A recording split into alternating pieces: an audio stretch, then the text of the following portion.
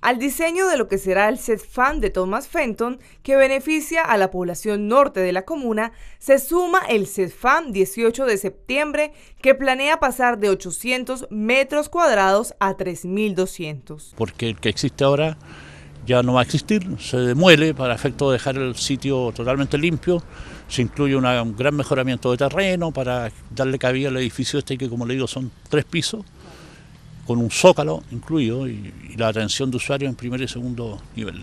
Digamos que en su, tiempo el proyecto funcionaba, pero se ha quedado chico y ahora se propone algo digamos con más, más metros cuadrados, más capacidad, que sea de mejor calidad para el usuario. Digamos. El CEFAN ya se encuentra en la tercera de cinco etapas de diseño, antes de seguir el resto de etapas contractuales y comenzar las obras, que se estiman empezarán en 2019 desde ya evalúan en dónde atenderán a los más de 16 mil habitantes del sector, mientras se desarrolla la construcción del nuevo edificio. Bueno, estamos estudiando con la municipalidad esa solución.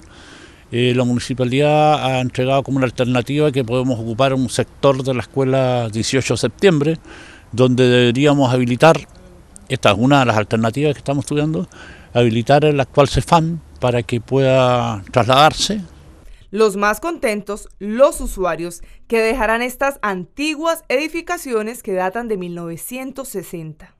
Eh, bueno, sería mucho mejor para nosotros, para que sea mejor la salud, igual, todo eso. Lo que nosotros esperamos con la buena salud, gracias a Dios, sí. Pero se ve bonito porque así tiene más capacidad de, de enfermos para que uno se pueda tratar. En todo caso, igual las veces que yo vengo acá al control, este, no, nunca he tenido problemas. Siempre hay lugares, hay capacidades. Bien, me parece, porque venimos hartas personas a tratarnos acá. Actualmente, ¿cómo es la atención? ¿Cómo ha sido? Buena, buena. Tienen voluntad de atenderla a uno cuando corresponde. Por ahora, la obra se ve así. Lo único que ya está financiado es el diseño, gracias al convenio de programación suscrito entre el Ministerio de Salud y el Gobierno Regional de Magallanes. Falta gestionar los recursos para el grueso del proyecto, su construcción.